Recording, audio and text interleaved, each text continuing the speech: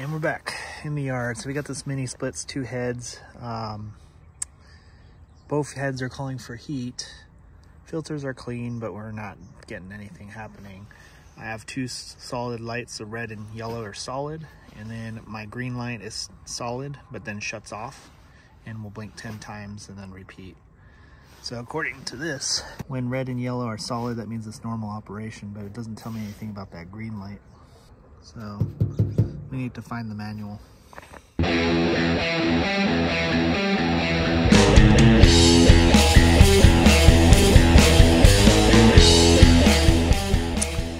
Okay, so I went into diagnostic mode on the inside. So basically you hold the mode and the the volume or the what do you call it? Um, on the remote control, you hold down mode and the temperature up then you push the reset button with the paper clip for three seconds, release it.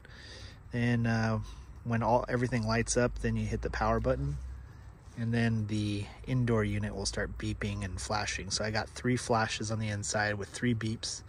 Um, so that's two and a half uh, seconds in between. So that's telling me that it's got a serial error, so some kind of communication problem on the indoor units on both of them. So usually that just means that the wires are hooked up wrong. Uh, so basically like the line set's hooked up to, to A and the wire for that one is hooked up to B and or it's reversed. But this unit's been working fine for a while. So I suspect that there might be another problem. Uh, so this one right here, the CNDC, uh, that's the from the power board and it's supposed to be about 296 volts DC uh, to 315 I believe Okay, so that's good. So, luckily this is just a two head mini split and it's pretty easy to see where they go so we can just make sure everything lines up properly. And uh, refrigerant charge is totally, totally fine. I've been reading this service manual. But yeah, refrigerant charge looks like it's fine. It's 209, but it's uh, 38 degrees outside right now. It's snowing a little bit. And saturation is about 35, so it might be a little bit low, but not anything to cause it to lock out. So we got some kind of COM error.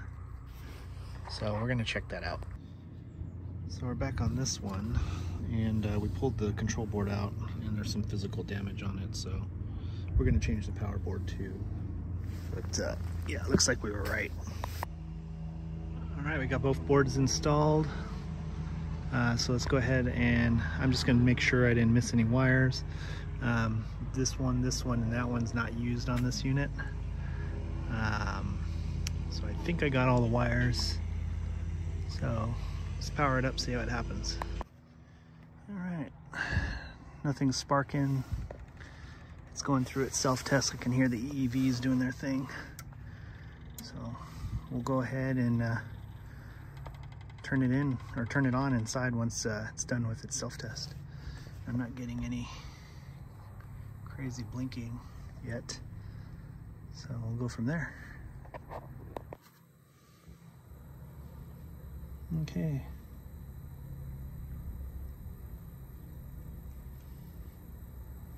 All right, so we got two solids. Let's go turn around and see what happens. All right, so I got both heads on heat.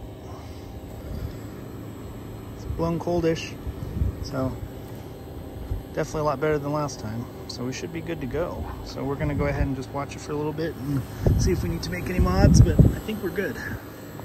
Okay, so this one we actually had a serial uh, COM error.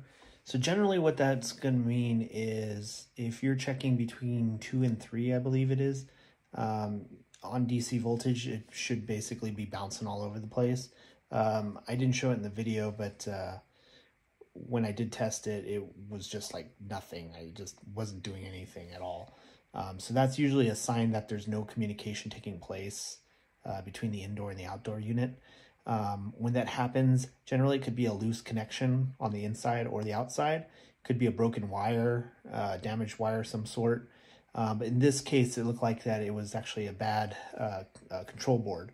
Um, generally, when you're changing the control boards, it's always a good idea to change the power boards um, because I've seen where the power board fails and takes out the control board or vice versa. Um, so, but yeah, but anyway, once we got the that board changed, uh, everything came to life. The lockout discontinued, and I was getting no more error codes, and uh, both heads were working totally normally. So, um, also you want to see if there's any kind of condensate pump because sometimes that can cause some issues. But anyway, hopefully this helps you out. So uh, thanks for watching. Make sure you like and subscribe, comment, tell me what a horrible technician I am. Hit that bell notification and follow me on Instagram Facebook. And if you like the tools that I use, uh, be sure to uh, pick them up at my store. Uh, link in the, in the description below. Thanks for watching.